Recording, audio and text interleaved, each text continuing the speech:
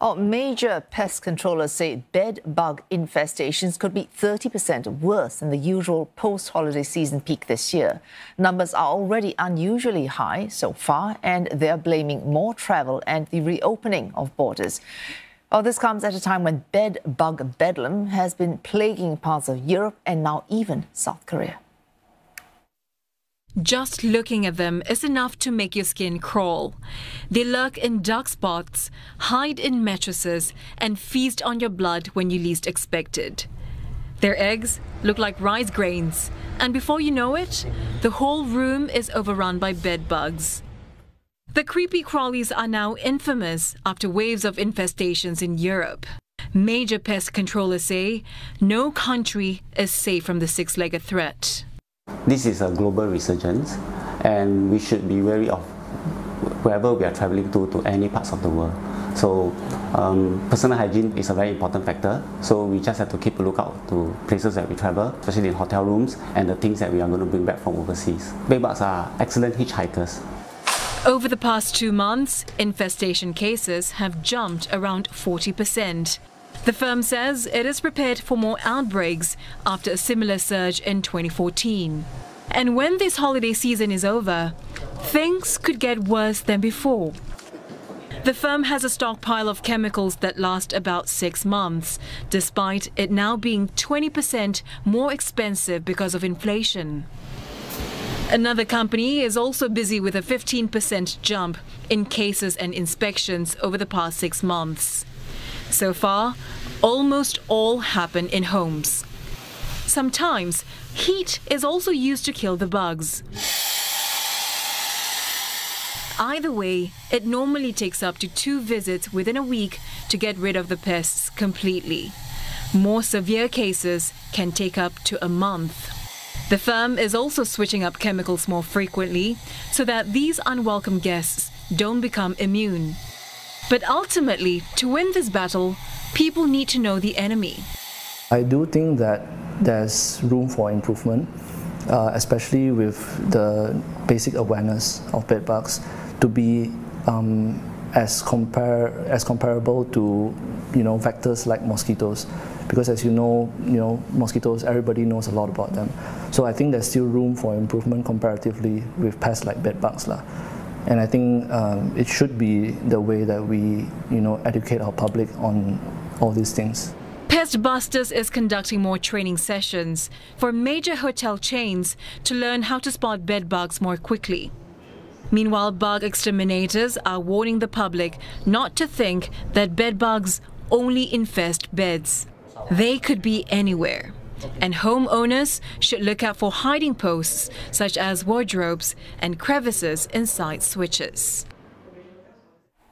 And for more on the behavior of these bugs, and I suppose more importantly, how we can uh, adjust our ways so that we can deal with them, we're joined by Rachel Key, head entomologist from pest control company Verminator. Now, Ms. Key, uh, very quickly, now we saw those pictures mm-hmm. that my mm-hmm. colleague filmed of, of bed bug infestation. Realistically, uh, if I don't see that, that does not mean that I do not have bed bugs and their eggs in my mattress. I mean, just is that the extreme case? Yes. What we saw? Yeah.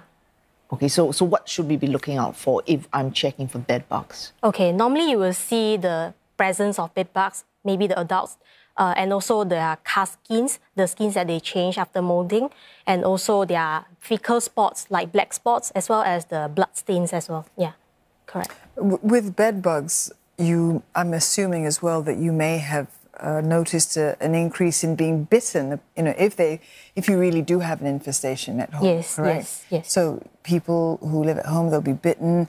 Uh, bedbugs aren't new in Singapore. Is this really something that we should be concerned about? Yes, correct. Uh, because uh, different people may react differently. Some people, after they get bitten, they won't have any reaction, but some they will have uh, allergic reaction.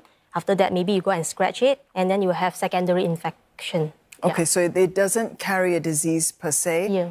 but just from the scratching and so on, you might introduce yes. pathogens. Yeah. Okay. Mm. All right, uh, you're an entomologist. Yes. Uh, we didn't, uh, I suppose you, did you study this? Uh, yes, okay, we studied right. So, is there anything particular to bed bugs that make them more likely to be resistant to chemicals than, say, for example, cockroaches or mosquitoes? Mm-hmm. And, and, and if that is so, does that change how we should be addressing for a company like yours how to exterminate bed bugs? Okay. Uh, it is reported that uh, bedbugs are resistant to certain classes of insecticides. So normally we will recommend to use steaming treatment as uh, to to how to say to avoid insecticide resistance. Yeah.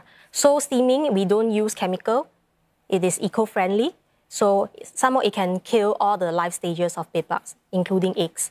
Yeah. Right. Ms. Key, when it comes to pest control solutions, apparently they're, you know, the way that the bed bug behaves uh, might lead us to some solutions as well, how to control them. Can you share more about that? Okay. Uh, we know that bed bugs they are um, flat. They have flat, flat body, so they can they are good in hiding in those cracks and crevices. So we have to target more on those places. We inspect. We know where to inspect, and also we have to know where to treat. Yeah. Okay, so basically they're hiding. They're good at hiding. Yes. Yes. Correct. But the other factor that we are uh, that we say is causing this rise is, is travel. Yes. So, uh, if you could give us a realistic guide, if you're traveling, is there anything you can do to stop them coming back, or having brought them back when you get home, to somehow fumigate yourself so that you do not introduce them permanently into your home? Okay. Normally, I would recommend you to like do a simple inspection first bef- uh, before you unpack your things in the maybe hotels. Yeah, so you can check all those seams and folds of the mattresses, sofa, and some furnitures. Yeah, to check whether there is there is there any presence of bed bugs. After that, uh, when you come back from a trip, before you unpack the luggage, you check your luggage first, and then uh, when you unpack your luggage, you bring your clothes straight away into your washing machine to hot wash and also heat dry it. yeah to kill them. Just uh, one quick final question for you, Ms. Key. If you have animals at home, and many of us do, uh, will bed bugs or a bed bug infestation impact them in any way, birds included? Um, they mostly infest uh, human. They, they, they like to suck human blood. Oh, okay. So fleas and ticks, be careful for the animals, and bed, bed bugs more for the human beings. Yes, correct. There's a lot, a lot of challenges. Yeah. Thank you so much for all of your advice. Thank you. Rachel sharing Key, head. Thank you. entomologist from Verminator. Verminator, yes.